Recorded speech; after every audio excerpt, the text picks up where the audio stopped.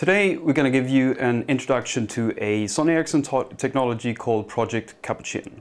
The vast majority of Sony Ericsson devices today support both Java ME and Flash Lite and both of those technologies of course have uh, pros and cons.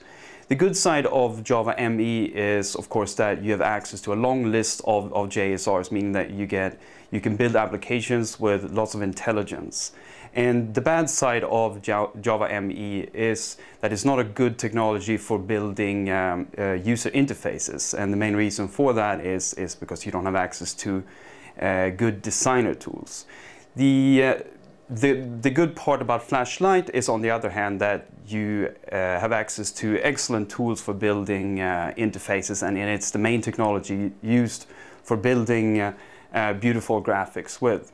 The not so good part about, about Flash Lite is then that it's, it's a technology, at least on, on most, most wireless devices, it is a technology that is, that is contained by, by itself and it's not getting access to intelligent from deeper down into the phone.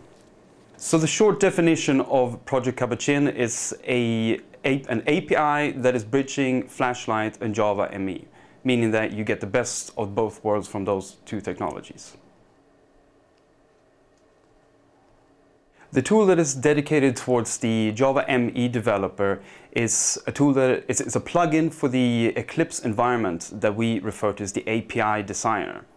The API Designer is, is the piece in the toolchain that the, the Java ME developer use to define the bridge between the Java ME and the Flash Lite piece in an application. And the output of this tool is the MXP.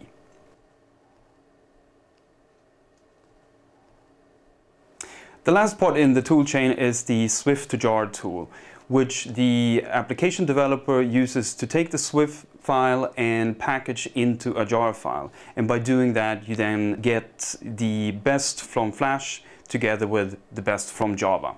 And the final piece that comes out of that tool is then the, the Capuchin application that is ready to be installed on the phone.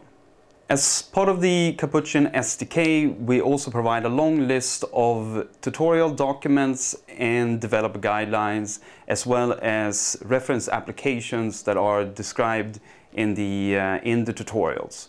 All of these documents, as well as the uh, tools and reference applications are available for download for free from the Sony Ericsson Developer World site. Please keep an eye on the Developer World site as we will be launching new documents and tools in the future. Thank you for watching.